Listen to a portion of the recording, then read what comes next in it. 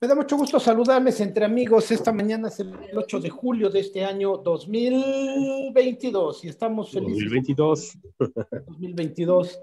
Y este, bueno, pues eh, por supuesto abrimos con la, la, triste noticia del fallecimiento de la mamá de nuestras amigas, compañeras en este medio de comunicación, Silvia de Julián y Silvia Argüello.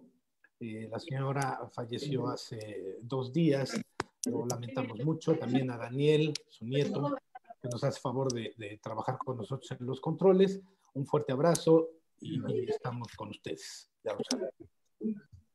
Charlie Florentina, Florentina Anguiano, una líder eh, pues de la, del sur, del sur de la ciudad de Puebla, que ella también estuvo en esa lucha entre si es San Andrés o Puebla. Es correcto. una mujer muy querida en esa comunidad, ahí en Concepción pegadito a Mayorazgo. un saludo para toda Concepción Guadalupe. Concepción Guadalupe. Un saludo para la, para la colonia, un abrazo para la familia. Una mujer muy querida, muy querida y que luchó por diferentes eh, procesos, por mejorar la, la, calidad de vida de su población, de sus colonos, ¿no? Una mujer comprometida. Sí, claro. Y este, bueno, pues muy, muy recordada y muy querida, muy querida en esa zona y una dolorosa dolorosa pérdida. Así es, un abrazo fuerte a la familia. Un abrazo fuerte a la familia. Bueno, pues continuamos aquí con, con, este, con el programa aquí entre amigos. Jaime, estás en un lugar de esos lugares bonitos del centro histórico, supongo. Ándale, de esos lugares. Sí, de esos rescatados. lugares Rescatados, exactamente. Y seguramente tendrás algo que comentarnos y que platicar.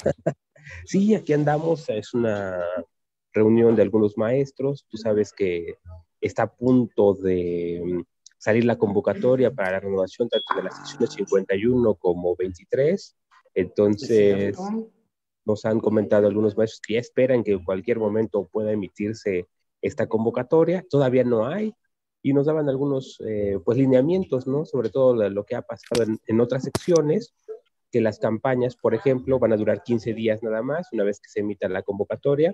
Habrá tres días de registro para los diferentes aspirantes. Y a partir de ahí, este, bueno, tendrán unos cuantos días para hacer la mayor campaña posible. Va a cambiar. Anteriormente eran asambleas de delegados en donde pues se juntaban en mesas y platicaban en dos, tres días. Entre ellos sabían qué sucedía en esos muchas veces hoteles, ¿no? O, restaurantes, pero la mayor parte eran hoteles. Hoteles, sí. Tenían los maestros y a partir de ahí de mesas de negociación, corrían varias mesas y ya surgía el secretario general en las dos secciones, en la 23, que, donde son pagados por, por el gobierno federal y que es la mayor parte de maestros en Puebla, más de 70 mil, nos comentaban, y los maestros del ámbito estatal, de la sección 51, que son más de de 30 mil maestros. En total son más de 80 mil. No, el 23 es el federal, es el más grande. Ah, yo pensé que los estatales, el, el, los que trabajaban para, digamos, para el Estado, los estatales, pensé que eran los 70 mil, los 60 mil, pensé que eran más. No, esa es la sección 23, los 70 mil son pagados directamente por el gobierno federal. Ajá, Y la otra sección, la 51, son alrededor de 30 mil y son pagados por el gobierno estatal. Ajá. Que, nunca, que, nunca, se ha concretado la descentralización educativa, ¿no? No, nunca se ha Y ahora menos. Ahora la mayor parte de recursos vienen directos de la federación y se está intentando hacer lo contrario, centralizar todos los, todos los procesos. Hasta el gobierno federal intenta que la nómina ya sea pegada directamente de la federación, que ya no pase por los gobiernos del estado, bajo el argumento pues, de que se pierde mucho dinero en el trayecto entre la federación, el gobierno del estado y el pago, el pago de los cheques a los maestros, ¿no? ¿Qué, viene, viene goteando? ¿Qué? O sea, ¿qué, qué argumento? ¿no? Este es el argumento, ¿no? Se pierde mucho dinero. ¿Qué traen el dinero líquido y se va cayendo en el camino? Se va, cayendo, ¿no? Es el argumento de Delfina, ¿no? Que por cierto, también entre los maestros, pues ya corre muy fuerte el rumor de que en cualquier momento va a renunciar para ir a buscar la candidatura gobierno del Estado, del Estado de México. Al gobierno del Estado de México. No, no, pobres mexiquenses, ¿eh? No, no, pobres. Entonces, imagínate. De veras, de veras, yo creo que los mexiquenses tienen un poquito de mayor razonamiento que los de Guerrero o con los de Oaxaca.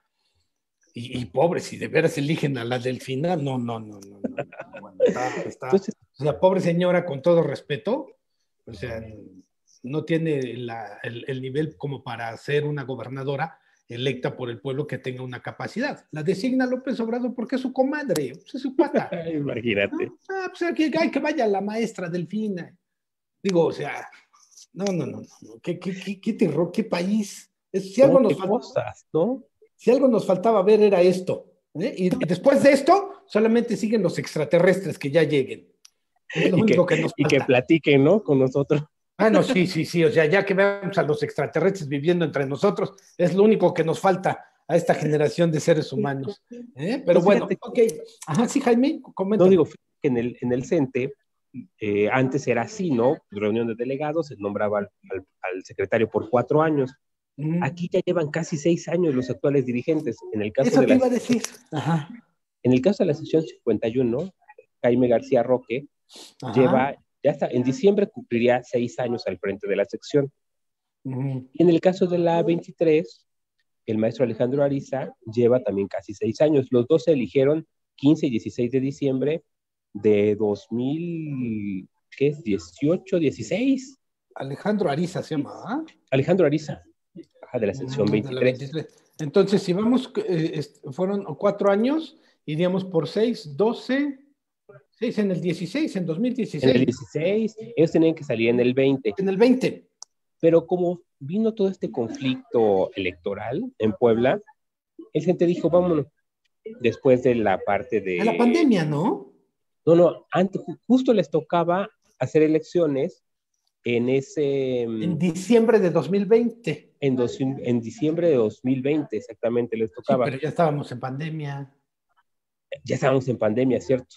Que ese fue el motivo, ese fue el, motivo por el que se retrasó todo, el todo el proceso de cambio de dirigentes. Por eso, tanto Jaime García Roque como Alejandro Ariza tienen eh, ya eh, prácticamente cinco años y medio, digamos, al frente del comité. Y entonces... sí, sí, sí. No digo, entonces, pues ya ahorita siempre hay un desgaste, oye, pues eh, los secretarios actuales pues ya tienen más de el periodo que tienen, como qué representatividad todavía pueden tener, ¿no? Entonces ya viene como la fase final de sus gestiones y se espera que en cualquier momento el Comité Ejecutivo Nacional emita las convocatorias para elegir ahora a los secretarios generales, pero va a cambiar porque ahora va a ser por el voto libre, directo y secreto de los maestros. Esto calienta más los procesos porque ya no va a ser como antes, ¿no? Más controlado. Claro, se puede pensar que también se puede controlar, pero a la hora con la reforma laboral, ahora los secretarios generales de los sindicatos tienen que nombrarse por el voto directo, libre y secreto de los integrantes de los sindicatos, en todos los sindicatos del país. Ya les toca. Es decir, por ejemplo, los maestros de la sección 51 que tienen derecho a ir a votar, que están, bueno, en, en pleno uso de sus derechos este, sindicales, este, todos ellos tienen el derecho de acudir a la urna. Me imagino que van a instalar urnas, ¿no? Sí, van a instalar urnas. No se va a llamar un poco diferente, pero van a ser casillas igual que mm. como las que tenemos elecciones de, presidencial, presidente municipal, diputados, van a ser similares. Pero van a, van a tener que ir a votar tienen que ir a votar. Las maestras y los maestros. Y el que saque más votos pues es el que gana, la planilla ganadora. Exactamente. Esto le da un nuevo juego, ¿no? Está más calientito y esto provoca que pues todo mundo quiera levantar la mano y ahora vamos a tener muchos candidatos, ¿no? Estar, existirá la posibilidad de planilla única. Sí, pero yo lo veo difícil, ¿no? En las dos secciones. Siempre hay grupos, grupos de exsecretarios, grupos de nuevos cuadros, entonces, en las dos secciones se ve muy complicado que haya un candidato de unidad, ¿no? Más bien va a haber, en, el, en la sección 51 hablaban de siete, en la sección 23 ya se habla de ocho, entonces imagínate, imagínate cómo van a quedar. Bueno, pues se va, se va ¿Me oye? Hola Pilar, buenos días, ¿cómo estás? Muy buen día. Oye, bien, buenos días. Ando con un problema de estomacal que llevo dos días mal, mal, mal, mal. Pero bueno, oigan, pero esto de la, de la elección en el sindicato de maestros, según lo escucho, ¿será hasta octubre? No hay fecha todavía. Pues me Están esperando que ya en cualquier momento saque la convocatoria el CEN Nacional. Primero tiene que sacar otras elecciones que se las saca en este mes, no, el otro, el otro mes en agosto. Sí. Entonces, por eso se planea que pudiera salir la convocatoria en septiembre y las elecciones sean en octubre, pero todavía no está en papel. Eso, esa es una buena observación. Es probable que sea octubre, o también, si ven muy calientes los ánimos, se vayan como otras elecciones hasta noviembre la convocatoria, diciembre las elecciones, y ya después de los, de los choques entre maestros, pues se vayan de vacaciones y se calmen las cosas y regresen en enero ya a iniciar las nuevas gestiones, ¿no? Así se ha hecho en la 23 y la 51. Oye, mientras, mientras no haya elecciones como antes, que se iba, empezaban en un lugar en Puebla y terminaban, creo que en Cuetzalan, itinerantes, ¿no? Esas eran geniales. Las últimas, por ejemplo, cuando nombraron a Jaime García, reventaron cristales y todo en los hoteles. Ah, sí, también. en la sección 51. Siempre ha habido fuerzas ahí, luchas y choques fuertes, ¿no? No, los maestros son bárbaramente Interesantes. Bueno, está bien, ojalá y se... Y hablando de maestros, el que se lanzó a la candidatura por el gobierno de Puebla es Melitón, ¿no? ¿Cómo ven? Sí. no, pues ya quería, ¿desde cuándo, no? ¿Desde cuándo y desde cuándo? ¿Desde cuándo andaba, este, pues prendiéndole vela a su santo, ¿no? A San Melitón, yo creo. Y este, no, es el chistoso, ¿no? Porque sacó su video con su esposa y toda la cosa, ¿no? Muy preparado, ¿no? Muy hecho. Por ahí dicen que un hombre de izquierda desde un restaurante fifi, ¿no? Dicen los maestros. Eso dicen, ¿no? pero pues al final pues es un video, ¿no? Y ya, es un video. Yo, pues sí, finalmente, este, eh, es el manejo de la sucesión que se está dando a nivel nacional como parte de una estrategia de posicionamiento de Morena. O sea, de claro. la, línea del presidente. O sea, ganen los espacios y empiecen a destapar, ¿no? A sus candidatos. Y entonces todos quienes han dicho yo quiero, bueno, la mayoría, pues son, son, este, son personajes que eh, la mayoría pues trabaja para el gobierno del Estado, ¿no? O sea, Gabriel Viejo, Salomón, Melitón Lozano. Y para poder hacer ese tipo de, de, señalamientos, digo, no nos hagamos, pues necesitan el aval del gobernador. O sea, si, si, si, si el gobernador no les habla y les dice, a ver, tú estás autorizado y ponte a trabajar así, y además diseñan la misma estrategia, graban un video y, y lo hacen, o sea, es como que de cajón, ¿no? Decían antes, ¿no? Pues es de cajón, ¿no? Es lo mismo. O sea, a ver, tú grabas tu video con tu familia, tú este, tú el otro. Olivia Salomón fue más exquisita porque organizó una comida este, en su casa. De chiles en nogada, ¿no? Sí. Ajá, de chiles en nogada y organizó una, una comida y entonces ahí ya hizo el nombramiento. O sea, a final de cuentas... El destape de los chiles, ¿no? Sí, el destape de los chiles, diría eso, eso fue. Y entonces, a final de cuentas, dices, dices, este, pues es enteramente, pues es un juego en el, que, en el que estamos metidos, quienes nos interesa un poco este tipo de cosas. Realmente la sociedad no sabe ni quién es quién, ¿no? Exactamente, la sociedad ni, ni va ni les viene, ¿no? Mira, el único serio que ha sido, ha sido afortunadamente el doctor Martínez, que le preguntaron y él se puso muy serio, contestó otra cosa, dijo a lo mío y punto, ¿no? no, no. Porque no, tiene autorización. Al jueguito. Pero porque no, no, jueguito, no. Porque no tiene autorización, del gobernador. Si el gobernador le ordena, a ver, doctor, te vas y te anotas, va y se anota. Y si no, lo, lo destituyen y lo meten a la cárcel. No, creo, no creo. No es, el, no es el caso del doctor Martínez. Por eso, no es el caso, pero todos, todos tienen autorización. Todos los demás, sí, claro. El primero en destaparse fue Sergio Salomón. Sergio Salomón. Ah, no, se vio, se vio malísimamente mal, sobre todo porque el día anterior, pues se había dicho, ¿no? Todo, ¿no? Que ya podían salir. Y más, resulta que el, primero en salir fue Sergio Salomón. dices, órale, pues no, no, no, no es lo mismo, ¿no? Te pega que la gubernatura. Por eso, pero Sí, claro. sabemos que todos, todos tienen línea del o sea, el gobernador les dio la orden, tú sales tú, tú, tú, tú y tú. Y al que no le dio la orden no puede salir a decir yo quiero. Claro. Porque lo corre, o sea, si sale, por ejemplo, ahí lo corre. Claro. Y, si lo corre y si se le pone al brinco, pues lo amenaza y lo mete al bote. Ahí está Guillermo Arechiga, está Abelardo Cuellar, Cuellar. Eh, ahí están todos, todos los que se le ponen al brinco, los, los les dice, a ver, aquí está tú. Glockner.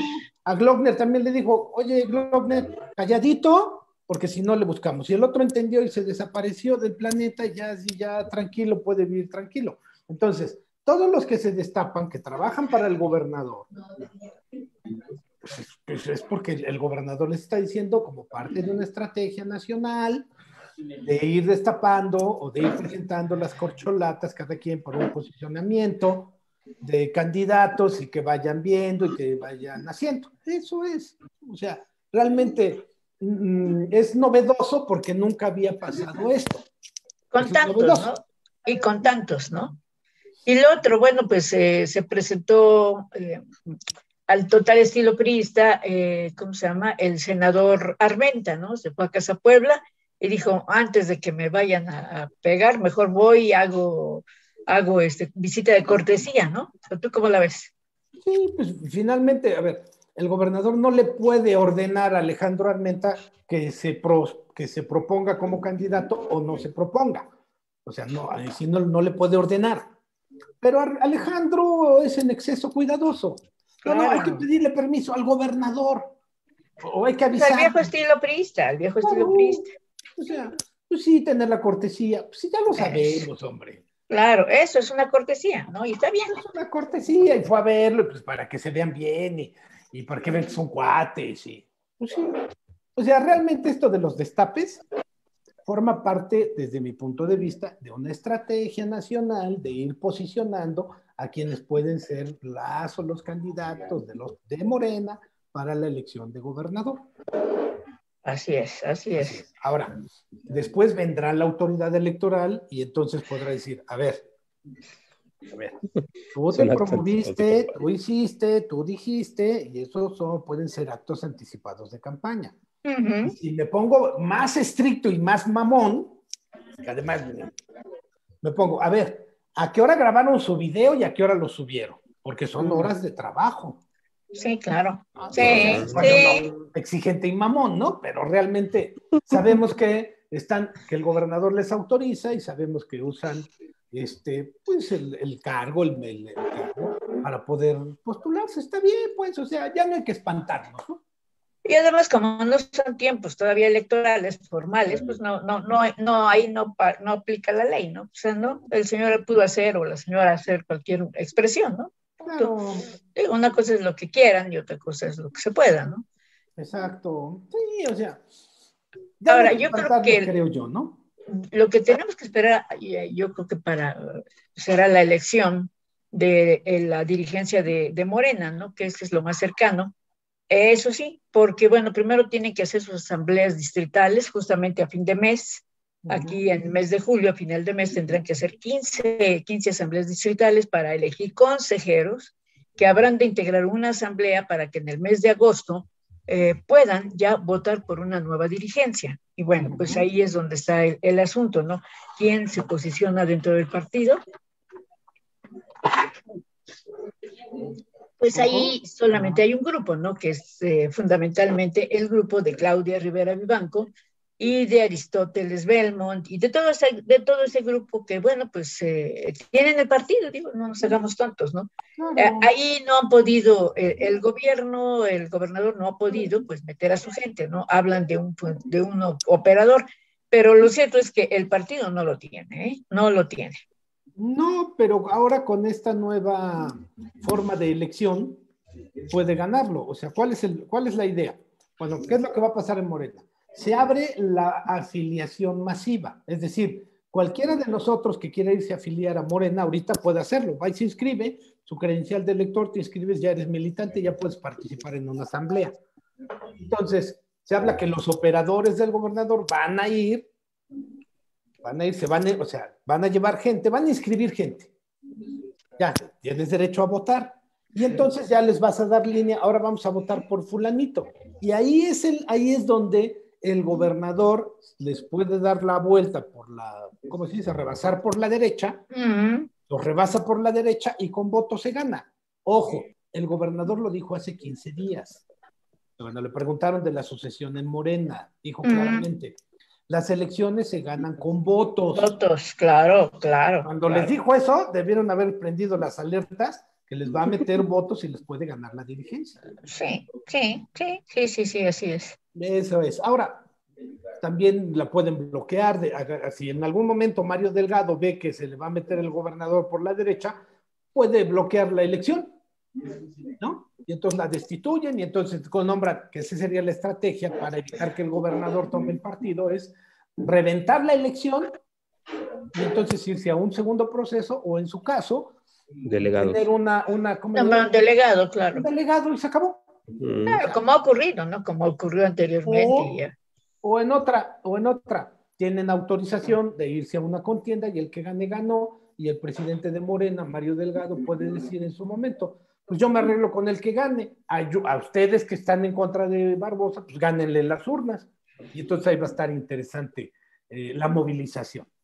Así es. Ahora sí, lo que alguien decía, ah, sí, Claudia misma, Claudia Rivera decía, bueno, pero lo primero que tienen que hacer todos estos aspirantes que ya levantaron la mano, pues es afiliarse a Morena, ¿no? Sobre todo ahora que está ya abierto el, el padrón, ¿no?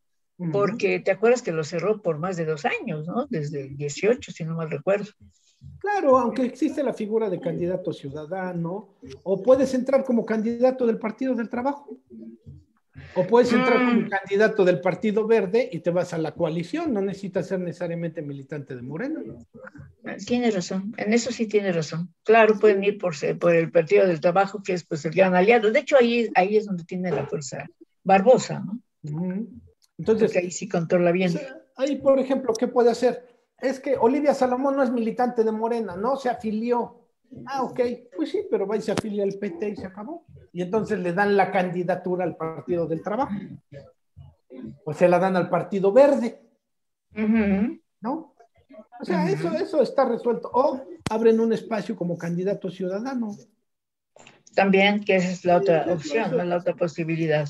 No necesita ser militante de Morena para poder ser candidato. O sea, puede ser de la coalición o puede ser un candidato ciudadano. Oye, y bueno, pues en, los otros partidos, pues no, e, este asunto de los destapes de locales, pues no, no les hizo mucho, mucho ruido, ¿no? El PRI dijo, no, pues yo ya lo hice ya desde cuando ya destapé a, sus fichas, ¿no? Como es el caso de Blanca Alcalá y como es el caso de Jorge Estefan Chiriac, ¿no? Ellos ya dijeron, no, pues yo lo dije desde hace cuatro meses, ¿no? Yo ya les dije a mis aspirantes que pues ya se pongan a trabajar, ¿no? Y bueno, todavía no se les ve mucha actividad, ¿no? Pero, pero de que están trabajando, yo creo que sí, ¿no? Blanca Alcalá, aunque va y viene de la Ciudad de México, ha tenido algunas reuniones, ¿no? Claro, sí, este, aunque Blanca, bueno, Blanca Alcalá ya fue candidata a gobernadora. Sí. Ya fue presidenta municipal. Sí. Y, eh, hubo un momento en el que Ignacio Mier, coordinador de los diputados de Morena, este, allá en la Cámara de Diputados y que además son amigos, la andaba convenciendo, andaba convenciendo para que se pasara Morena y fuera candidata a presidenta municipal. Claro. A ver, tú tienes buenos números, vente con nosotros. Y entonces Blanca se anduvo ahí tambaleando de que entre que sí me voy o no me voy. Porque bueno, hay un pacto, este, finalmente PRI-PAN, ¿no? Para poder buscar el, el gobierno, ¿no? Y además, o sea, eh, la hija de Blanca Alcalá, Karina Romero, es secretaria de Equidad de Género. Igualdad, una cosa así, de igualdad de género. en el Ayuntamiento de Puebla. Sí. del Ayuntamiento de Puebla con Eduardo Rivera, que, va, que puede ser candidato el PAN a gobernador y entonces ahora resulta que te doy una posición a ti, PRI, con tu mamá para que trabajes y estés ahí y de alguna manera asumes conmigo y ahora ya resulta que te vas en mi contra pues entonces eso como que desequilibró y ahí le pararon las cosas, ¿no? Sí, y, ya no creo que Blanca se haya querido pasar, vaya que, digo, sobre todo, o quién sabe, ya no sabes, ¿no? Business e intereses son intereses, ¿no? Pues si te vuelven a dar la, la, candidatura y te garantizan esto y lo otro, pues quién sabe, ¿no? O sea, hay muchas, muchas razones, muchas maneras para poder entender eh, este, estos temas, ¿no? Entonces, pues sí, la verdad es que yo así lo veo, ¿no? No sé cómo andemos para un corte. Secretaria de Igualdad no sé. Ajá, eso, digo algo de igualdad o algo de las mujeres, ajá. Ese es el cargo de, de, Karina, ¿no? Claro, claro, claro, claro, claro. Así es. ¿Nos toca corte? no, no, no sé cómo andemos para un corte. No sé cómo ande de tiempo. tiempo Dani. nueve minutos, sí. Pues no sé si hagamos un corte de una vez, Dani, y ya estamos para cerrar, ya son las, faltan 10 para las 11. Perfecto. Correcto.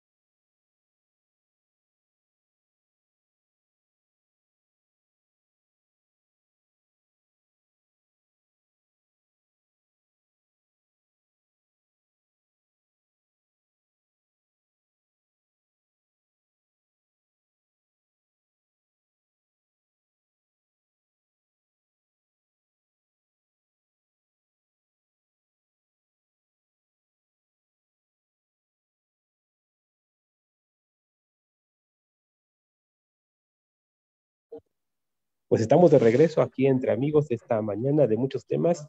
Ya hablamos de los destapes hacia el gobierno. Pili, pues eh, traías otros temas también muy interesantes que se han venido dando durante esta semana, sobre todo en la grilla política. Fundamentalmente ha sido eso, ¿no? Los destapes, las reacciones que se han tenido. Y bueno, temporalmente en el Congreso ayer hubo sesión y bueno, fíjate que hubo muchas El tema del agua, que va a generar mucho ruido, yo creo que ese Hoy el gobernador acaba de hablar hace rato de que yo pensé que no iba a entrar al, al 100%, ¿no? Porque el tema de las tarifas del agua, aquí en China siempre van a ser complicadas, ¿no? Porque a nadie le gusta que le suban el agua, sobre todo, eh, pero yo creo que es peor no tener el agua, ¿no? Como le ocurre a Monterrey. Entonces, eh, sí, se hizo eh, su APAP, perdón, la, la empresa Agua de Puebla para Todos, ellos no pueden no pueden solicitar el aumento, tampoco ellos pueden legislar, por supuesto, ¿no?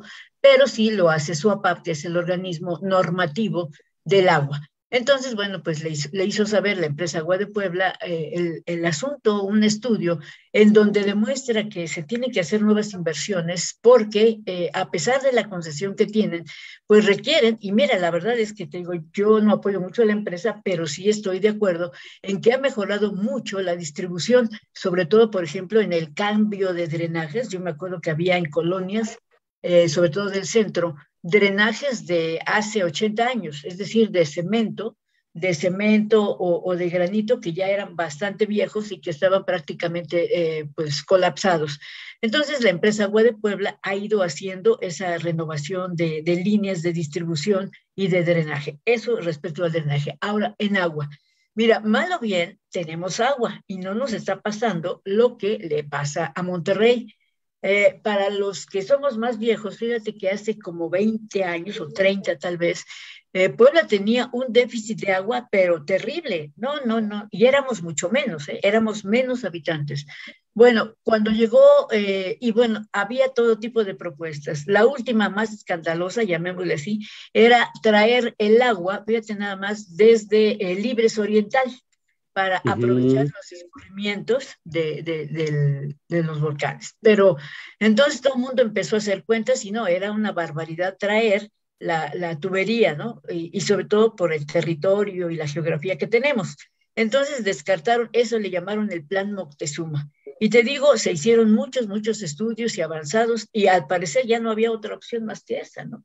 Sin embargo, dejaron pasar el tiempo, ahí la sortearon y bueno, después ya vino eh, la creación de, del SUAPAP, el Sistema Operador de Agua Potable que efectivamente creó don Manuel Bartlett en donde dijo, bueno, a ver, vamos a juntar a los municipios conurbados y pues vamos a buscar en dónde podemos traer el agua, ¿no? Mandó a hacer estudios muy serios y entonces eh, el, resultado fue que todavía teníamos deshielos del agua del Popocatépetl y que podíamos aprovecharla. Y entonces es lo que conocemos como el plan Nealtica. No sé si tú te acuerdas, Jimmy, Carlos. Sí, por supuesto así se hizo el plan, el plan Nealtican, y bueno, pues volvimos a tener agua, afortunadamente, y después eh, pasaron los años y, no era ya suficiente el agua de Nealtican, ya no lo es, ya no lo es, ¿por qué? Porque también los deshielos del Popo ya no son tantos. Segundo, eh, vino esta empresa con toda, y, como haya sido, así como haya sido el contrato, eh, hizo una propuesta que a mí me parece interesante. Uno, es decir, Puebla ya no tenía agua dulce, entonces tiene veneros de agua de azufre increíbles, ¿no? Muchos veneros de agua de azufre y entonces esta empresa decidió procesarla. Y esto es lo que nos permite hoy tener agua potable en Puebla. De no aprovechar esta agua, te lo juro que estaríamos seriamente en problemas.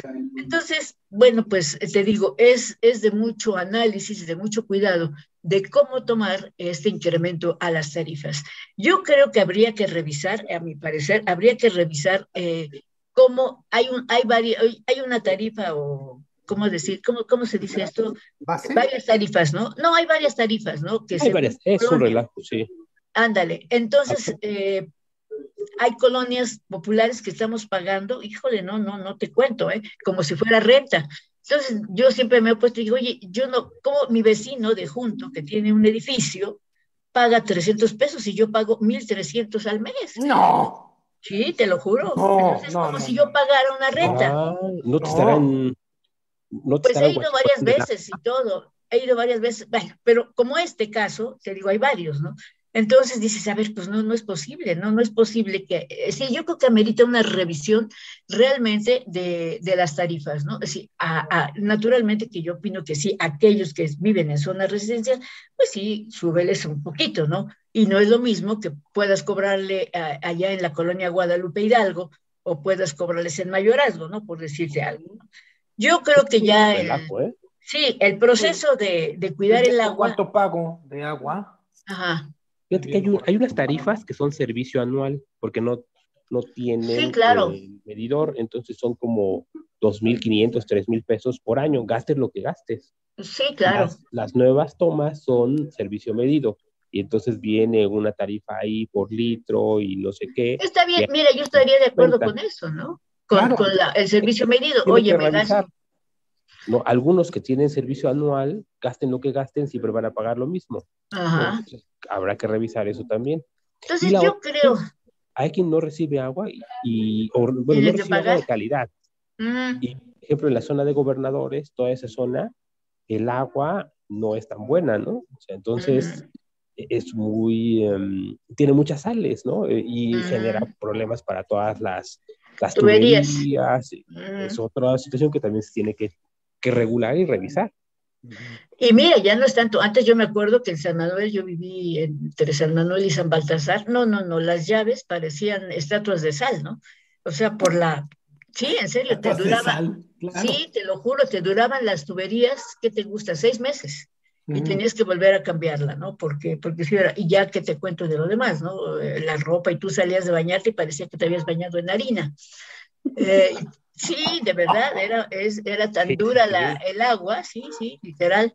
Entonces, pues tenías que ponerte mucha crema para quitarte la cal, ¿no? En fin, pero bueno, pues yo creo que sí es un tema el asunto del agua y si le tiene que entrar el Congreso, pues tendrá eso, ¿no? Que revisar varias cosas, ¿no? Las tarifas, eh, la extracción, y, y, ya dejar el asunto, yo creo que ya dejaron el asunto pendiente esto de que si le quitan o no la concesión, ya está visto hasta el cansancio de que resulta más caro, va a resultar más caro eh, el querer recuperar la concesión. ¿no? Pues mira, ya se lo está haciendo la empresa, pues que lo siga haciendo, ¿no? Se, se comprometió a, a, a, hacer todas estas obras, estas inversiones, pues que las siga haciendo, ¿no? ya deja que salga más caro que, que le quiten la concesión. Ya para qué se la quitas, como bien decía sí. en otra ocasión, ya llevan más de 10 años. Ajá. Era 30, ¿no? ¿no? O sea, ya el Era 30 o 25, lo que sea. Pero vaya, a ver, si la empresa, mal o bien, te está sacando el problema y que no te estás quedando sin agua, eh, eso, eso es importante, hay que valorarlo. Segundo, dime tú si el ayuntamiento o su APAP o, o, o, o, inventen un nuevo organismo, pues va a tener, va a tener el, el, las posibilidades de resolver el problema del agua, ¿no? Yo, yo lo veo muy, muy, complicado. Yo veo, yo aplaudo, por ejemplo, este, esta transformación del agua de azufre, y cuando lo anunciaron, dice, ¿cómo el agua de azufre? Guaca, la pesta, es horrorosa, ¿no? Pues sí, pero hoy, gracias al tratamiento, tenemos agua potable, ¿no? De lo contrario, pues no. Es un tema muy complicado por lo que se quiera ver. Siempre el aumentar las tarifas y yo creo que si se hace, se hace en este año porque el otro ya viene el proceso electoral. ¿no? Sí. Todos los costos políticos se tendrán que tomar en este año. Ya vimos lo de las placas, ya vimos ahorita este, lo del agua. Parquímetro. Lo del parquímetro. Los costos políticos son este año porque el otro ya estamos en campaña. No, no, no, no se van a meter en broncas. Uh -huh. Y en una de esas hasta el transporte, que no creo que por ahora lo aumente, pero está ahí calientito también el tema. No, sí, no tarda, ¿no? Sobre todo porque eh, la, la, revista eh, la están haciendo, están empezando por el interior del estado. En Puebla de vez en cuando hacen operativos, pero este, no ha habido un, un, ordenamiento como antes se hacía, de que los mandabas al, al, estadio Cuauhtémoc y ponías, por ejemplo, en un día 50 camiones, ¿no? De tal línea, y ahora a revisarlos, ¿no? Tal. No, no lo están haciendo así, ¿no? Entonces digo, bueno, pues no sé cuándo, cuándo se va a hacer. Lo cierto es que tiene eh, la secretaria de Movilidad y Transporte, Elsa Bracamontes, híjole, sí tiene um, mucha, muchas broncas con los transportistas, ¿no? Porque primero no se deja ver, no la pueden, no la pueden dialogar, ¿no? No es muy cerrada, ¿no? Entonces es la ley y ya está el reglamento y se cumple, pa, ya. Oye, pero podemos, no, mangos. Entonces, eh, sí, el transporte está, no tarda en, en, tener ahí algún conflicto. Es intransigente la señora. Sí, por exacto. lo que se ve. Sí, lo que sí, se sí, ve, sí. ¿no? O sea, lo que se ve, lo que se ve no se juzga. Pero Sí. así es. Y bueno, también se le subió a la cabeza el poder. Y Ya fíjate, no ha levantado la mano para piensa hacerlo. que tenga esta, esa Secretaría de Movilidad, ¿no? Siempre ha sido Conflictiva, toda la vida. por todas partes, ¿eh? Por todas partes. Y siempre Este, dicen que van a mejorar. Rómulo, todas, No, todos, ha habido todos. un problema. A todo el mundo se le ha acusado que se ha llevado concesiones. El- ahora el Arechiga, ¿no? El anterior secretario también ahora detenido. No, pero siempre ha sido un conflicto para todas partes. Por todos lados. Y yo no dudo que el personal de, de supervisión pues haga las cosas al 100%, ¿no? Yo no lo creo, pero bueno, ellos dicen que sí, que están aplicando con, con rigor el nuevo reglamento, ¿no? El nuevo reglamento que ¿Cuál, además está regla- muy... cuál- cuál nuevo reglamento? Bueno, sí está bien, hay un nuevo Sí hay. reglamento. Hay una nueva ley. Sí, el No, ¿hay ley? periférico, a ver, el periférico lleno de, lleno de, lleno de taxis piratas, claro. porque claro. no el gobierno, o sea, porque nadie, nadie ha, de- ha definido una ruta oficial de decir, a ver, necesitamos 200 camiones. ¿Quién quiere Exacto. la concesión? Venga, órale, ahí está su concesión, póngase a chambear. Yo le pregunté eso en la única rueda de prensa que dio la señora. Eso le pregunté. Sí, es la única cuando presentó el, el nuevo reglamento. Yo le pregunté, oiga, en el periférico eh, existe esto, ¿no? Sí, sí, lo vamos a ver. Pero que, a ver, con lupa, a ver. con- No, no, venía a verlo, o sea, venía a verlos, ¿no? Eh, claro, entonces ahí se acabó la conversación. Ah, bueno, pues ahora.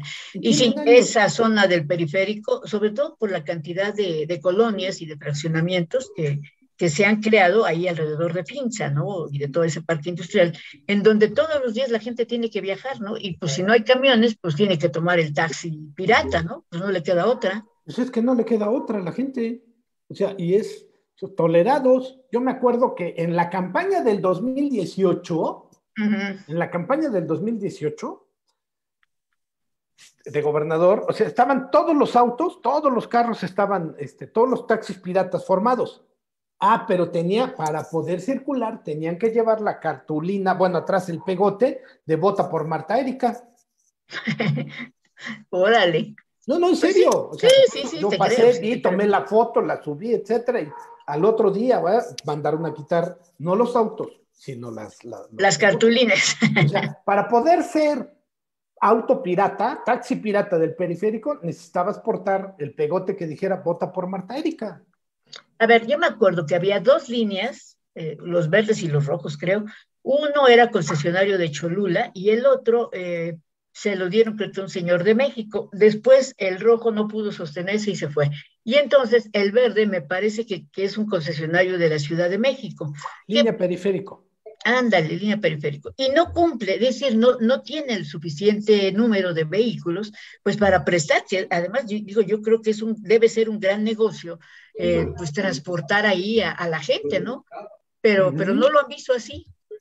No, recuerden que fue el accidente cuando cambió, es, cuando fue un camión rojo y se fue a por, Onango, ¿no? entonces ahí se armó el escándalo y vamos a cambiar el concesionario, y medio se hizo algo, pero a partir de ese gran accidente, ¿eh? pero no, no, se ha solucionado gran cosa, o sea, no ha cambiado. Ahora ya hay micros y combis en la línea periférico, cuando se dijeron que iban a ser camiones de...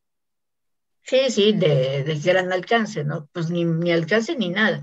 Sí, yo creo que ahí sí nadie se ha querido meter en ese asunto y sí urge, porque la gente, pues todos los días se tiene que transportar de noche y de día. La gente que sale temprano a trabajar, no precisamente al área de las empresas de ahí, sino que tiene que salir a otras partes, ¿no? A otras partes de la ciudad a trabajar, pues no tiene transporte, o viceversa, ¿no? Los que van de Puebla hacia allá para trabajar necesitan transporte. En fin. ¿Ya se acabó el tiempo? Lo que, lo que dice Jaime, eh, venía un camión de la ruta periférico, línea periférico es una, pero era un camión, esa concesión se la dio Valentín Meneses a un cuate de él, de Cholula. Que es transportista de Cholula, que tiene los rojos. Así es, los rojos, sí. Los rojos de Cholula, o sea, es el dueño, que tiene muchos años de transportista. Así es, Galindo, si no mal, mal recuerdo. Ajá, entonces se rumoró que Valentín se había asociado con él y que por eso tenían la ruta y les iba muy bien. Viene el accidente, que bien recuerda Jaime, y Moreno Valle está ya en... no se había dado cuenta, pues, o sea, ah, sí, ahí trabajenle, ¿no? Entonces ya empieza a descubrir, ta, ta, ta, y, manda a clausurar la línea completa, al estilo Moreno Valle, se acabó, se acabó, ya saben, ya saben, ¿no? Al estilo este, el anterior y el que venga, esa, cada quien tiene su estilo pero sobre todo porque se tenía el, el, el asunto de que era de, de, Valentín, ¿no? De que Valentín estaba asociado. Entonces, bueno, fuera. O sea, más que solucionar un asunto de transporte público de interés general, de interés común, de interés público, se inclinaron por un asunto político, una venganza política personal, y acabaron con la ruta y entonces ahora dejan que todo el mundo se meta al periférico y haga lo que se le hinche la gana. Claro obviamente tolerados y obviamente tienen que dar una cuota. O sea, pero te digo que yo tengo mucha duda, yo tengo mucha duda que el personal de supervisión pues sea tan honesto y tan limpio como promete, como dicen ser, ¿no? pero el, el, el, personal de supervisión recibe, como todos, recibe su cantidad y de ahí le, cuota, le quita la comisión grande, va para arriba y va para arriba. O sea, el del supervisor se quedará se queda con poquito.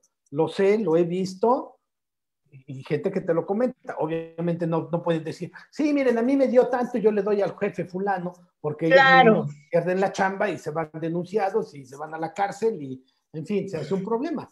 Pero lo ves, y todos los días yo entro por periférico, todos los días paso por periférico y todos los días salgo de un lado y está la fila de autos piratas.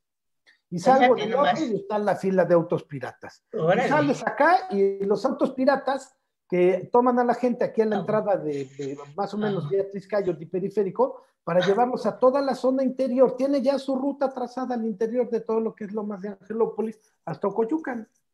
Y ya tiene más. Porque la gente dice, bueno, a ver, tú vives en Lomas de Angelópolis atrás de Sonata. Ajá, ¿y cómo llega la gente que viene a trabajar a tu casa? Exacto. Tarifa de 15. De 10 pesos. O sea, de aquí a, la parte de atrás, digamos, de la entrada, a la parte de atrás de Sonata, en auto son 15, 20 minutos. Sí, fácil. No, sí, sí. sí, sí. Mira qué bien sabes la cota. no, lo sé porque los veo. Claro. de 10, 15, 20, 25. 10 pesos a Sonata, te, te dicen, un poquito más adelante, 10 pesos. Sí, está bien. Entonces ya te llevan los 10, te dejan. Ahora, toda la gente que trabaja en Sonata, o sea, el de la gasolinería, el de los restaurantes, el de el, que lava la losa, el jardinero. sí, sí, sí, toda la gente. todo lo que es el fraccionamiento Lomas de Angelópolis, y digamos toda la zona, yo digo, de Beatriz Cayo de Periférico hacia el fondo, hacia Tlisco, deben trabajar unas 25 mil personas al día. Sí, yo creo que sí. Sí, sí, porque además hay una cantidad de fraccionamientos y además los nuevos, ¿no? Los nuevos fraccionamientos. Y hay edificios.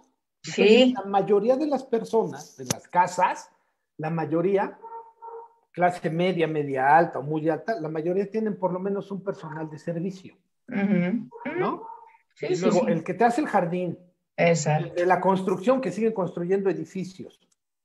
Toda la gente que trabaja en la construcción. Toda la gente de los comercios es impresionante la cantidad de comercios que hay en toda esta zona. De sí, no, no, no. Es que parece otra ciudad, ¿no? Gasolinerías, es otra ciudad. Sí, toda esta gente, toda esa gente, ¿cómo se traslada? Pues como puede, ¿no? Y con los piratas, claro. El Ruta Azteca ya se jala la lateral y llega hasta Sonata y da vuelta y se regresa y trae un montón de gente, de trabajadores. O sea, es impresionante la cantidad de personas que vienen a trabajar a toda esta zona.